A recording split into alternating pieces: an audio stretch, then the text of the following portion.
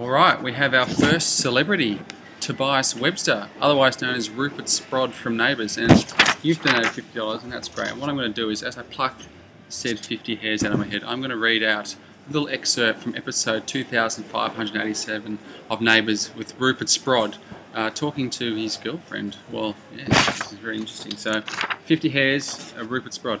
Look, the girl's a babe. I can't deny that. And she's really hot looking but you scratch the surface and there's just nothing there.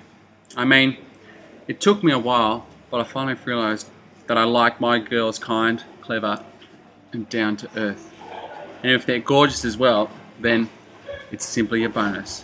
And with that, Rupert Sprod kisses the girl. Thank you, Rupert Sprod. It's very, very helpful. You're a good neighbour. You're a very fine neighbour. That's what good neighbours make. They make donations to Camp Quality of $50 or more. Ah! That helps a lot. So thank you, Rupert Sprod. Thank you, Tobias Webster III. Thank you, Neighbours, for introducing you to the world. Whoever the producers were, they were geniuses. Let's be honest. Thank you. Thank you. Thank you. There's your 50 hairs. There's your 50 plucks.